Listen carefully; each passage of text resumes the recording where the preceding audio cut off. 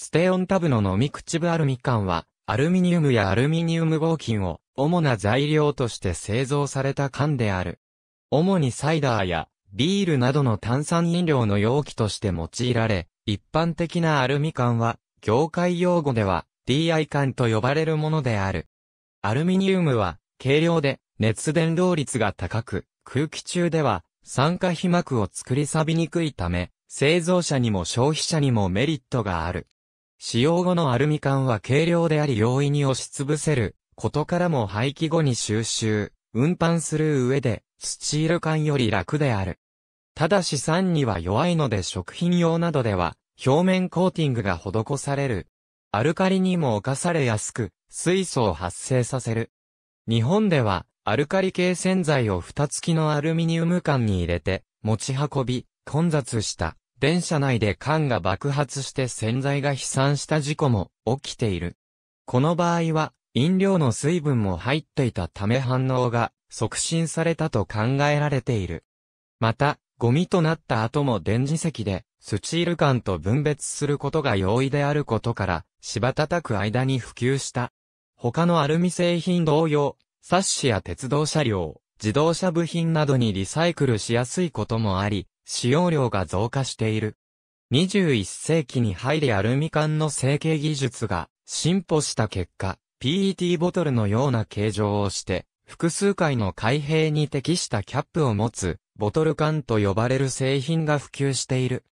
PET ボトルの場合、胴体をくるむフィルムにパッケージのデザインを印刷しているが、ボトル缶の場合はほぼ全体を印刷スペースとして利用可能なため、デザインの自由度が高い。中身が見えないことを美観的に好ましいと考えることもある。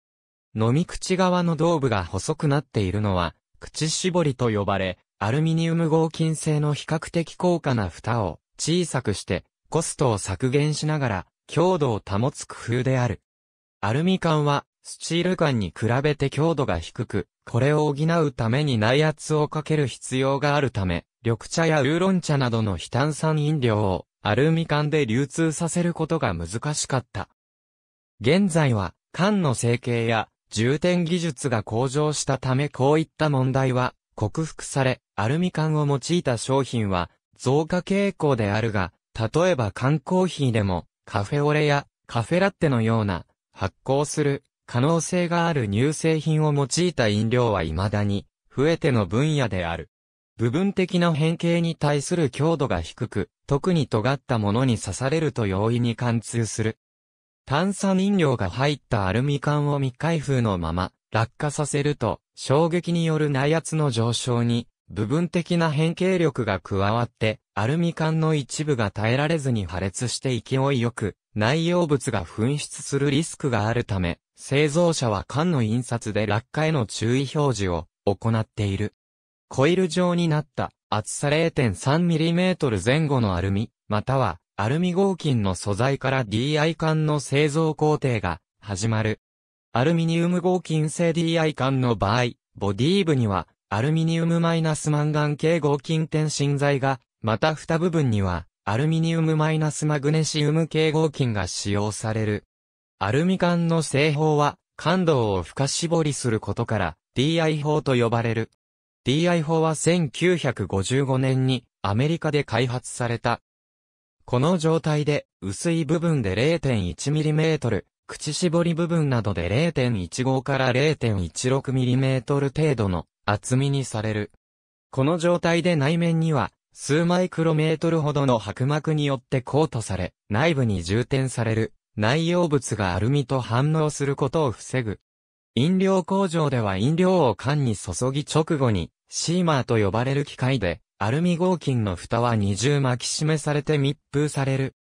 アルミ缶は再生用資源としての価値が高く、地方自治体のゴミ回収事業ではそういった資源ゴミの売却益によって経費の足しにしているが、2000年前後から数年にわたり、日本全国の市町村で自治体指定のゴミ置き場からアルミ缶とやはり価値が少しは、あるコストを持ち去り売却する人が増え出して、小さな社会問題となった。